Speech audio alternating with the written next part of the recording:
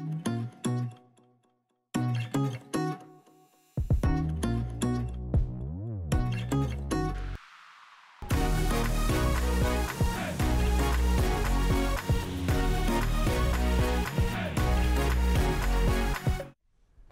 morning, ESM. I'm Nicole. And I'm Elena. Today is April 4th, and happy Ramadan to those who celebrate. For those who don't, Ramadan is a holy month of fasting for the Muslim faith, celebrating as a month in which Muhammad received the first revelations that make up the Quran, the holy book. This weekend at the Final Four, there was some big local news. Isn't that right, Tanner?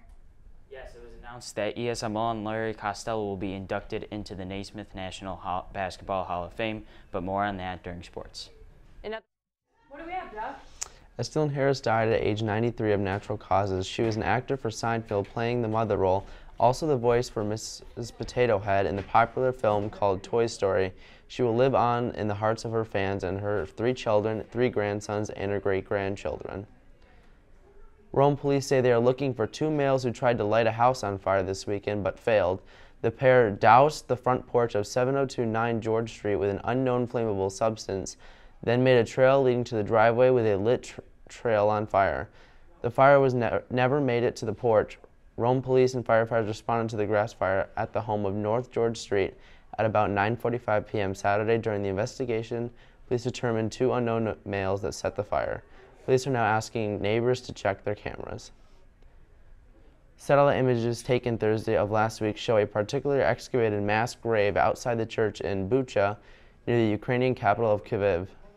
The photos taken March 31st by Maxar Technology show a 45-foot-long trench located near two churches, where the bodies of Ukraine civilians are being removed by officials.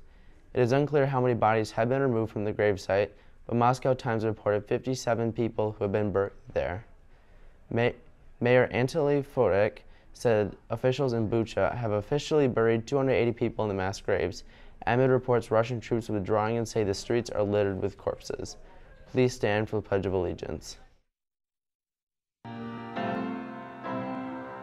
I pledge allegiance to the flag of the United States of America and to the republic for which it stands, one nation under God, indivisible, with liberty and justice for all.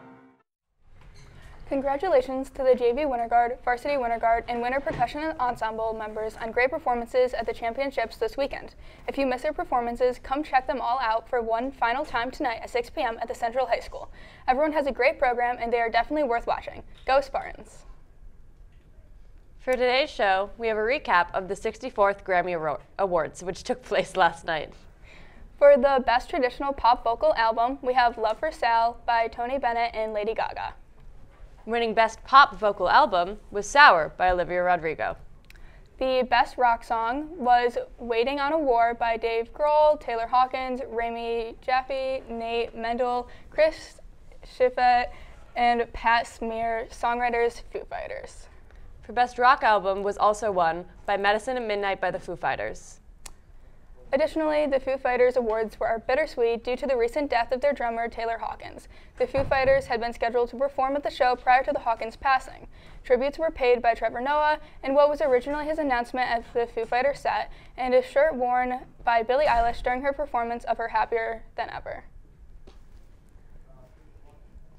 For rec- rec-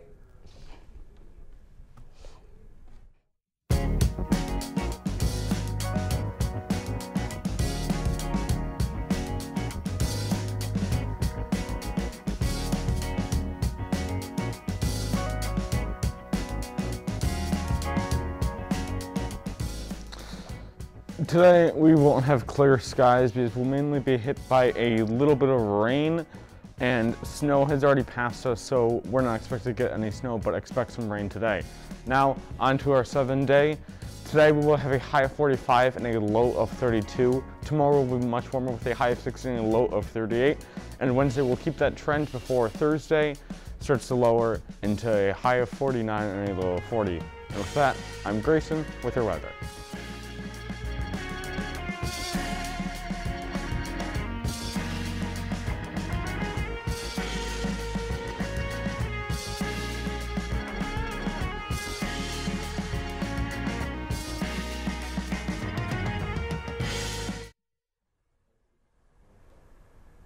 Hey, Defend your class.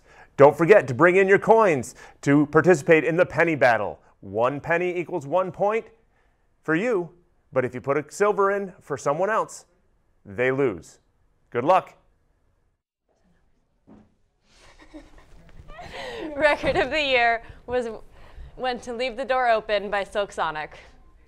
The album of the year was We Are by Jon Batiste. Song of the year was also Leave the Door Open by Brandon Anderson, Christopher Brody Brown, Dernst Emile II, and Bruno Mars, also known as Silk Sonic. And the best new artist was Olivia Rodrigo.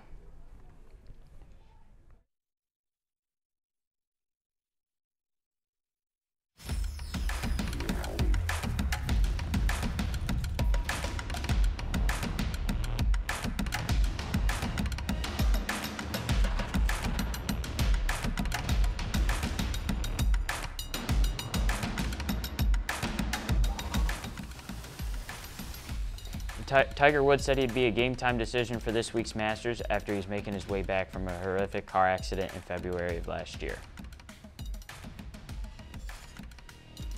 The South Carolina, South Carolina women's basketball team won the program's second national title, beating UConn 64 to 49.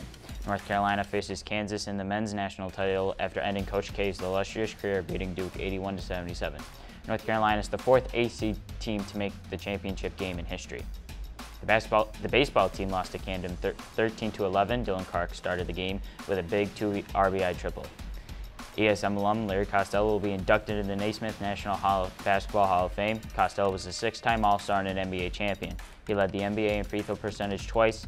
He started his coaching career at ESM, then coached professional for the Syracuse Nationals and the Milwaukee Bucks, and finished coaching career at Utica College. And I'm Tanner with your sports. Fun fact about that picture we just showed, it was the first basketball game ever played at the high school, which was recently constructed then in 1965. That's all we have for you today. Ramadan Mubarak to those who celebrate. And from me, Nicole, and everyone else at the morning show, have a great day, and remember, the Grammys are always rigged.